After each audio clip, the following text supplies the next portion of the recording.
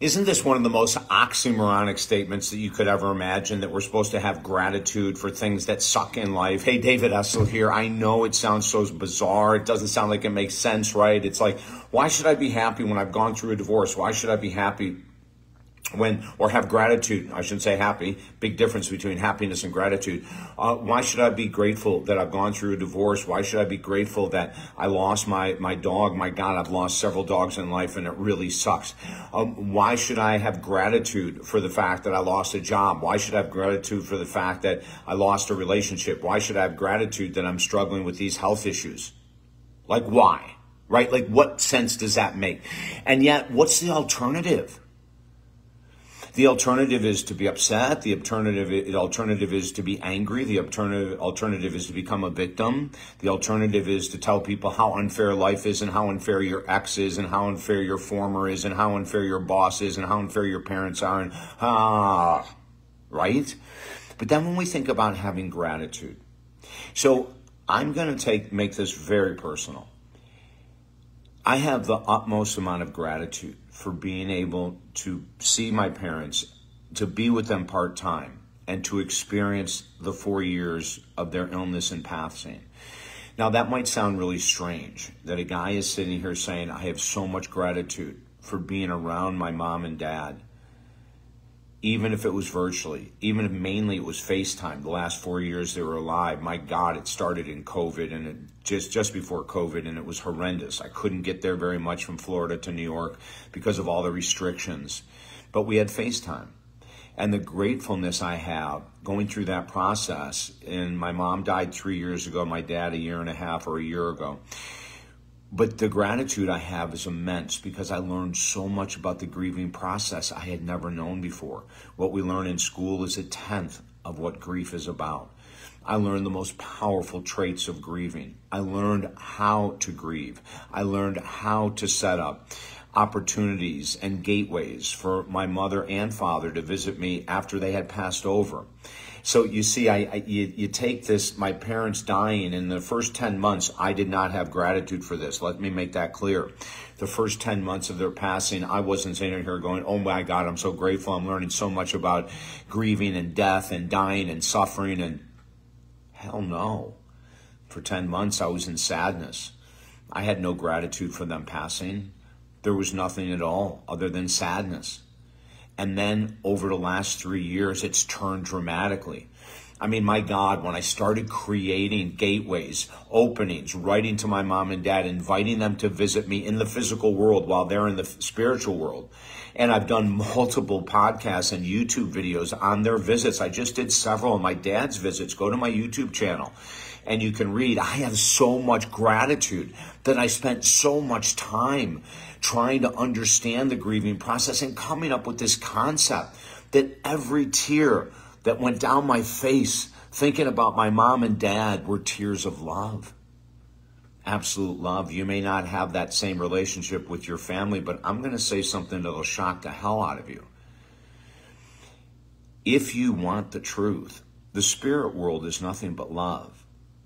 So if you really struggled with your mother and father in the physical world, in the spiritual world, they're pure love.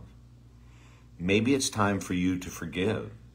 Maybe it's time for you to forgive yourself for holding resentments against them. Maybe it's time to forgive them for treating you so poorly. And then maybe you can open a gateway and you can start to write to them and say that you'd love to see a sign from them. And all of a sudden, the next day you wake up and there's a quarter on the kitchen table that wasn't there last night and you live alone.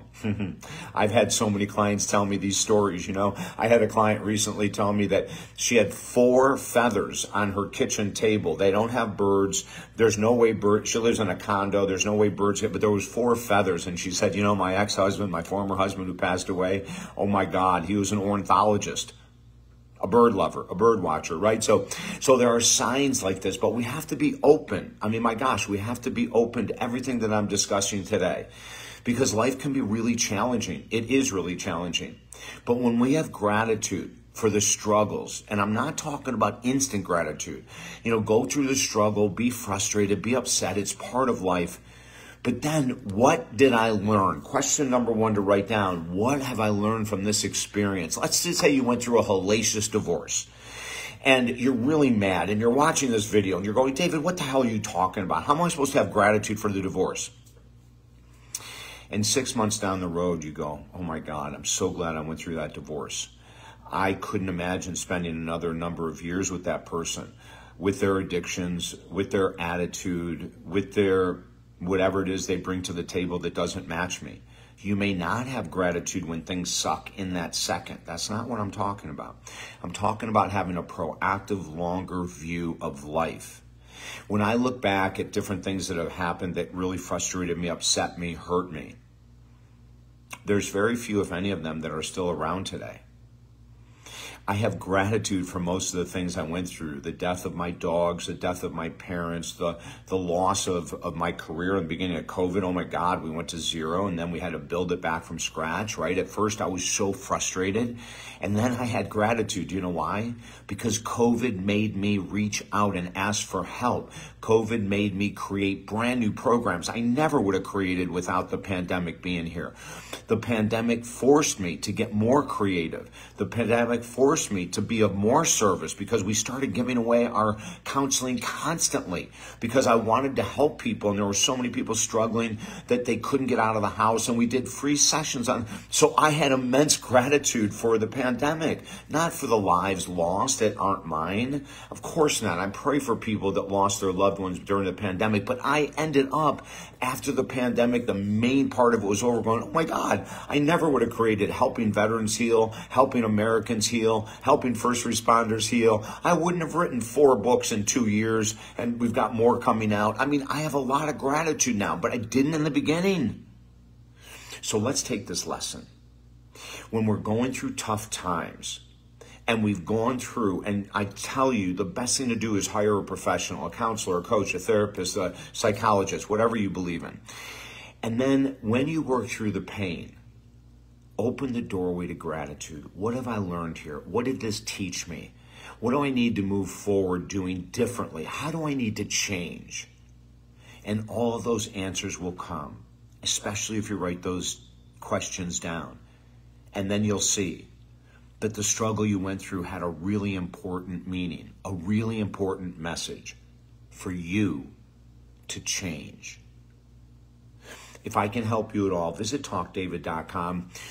We have specials going on because of inflation. You can work with me one on one from anywhere in the world with discounted programs. Talkdavid.com. And there's four free books there. They may help as well. Until next time, I'm David Essel. Have a beautiful day.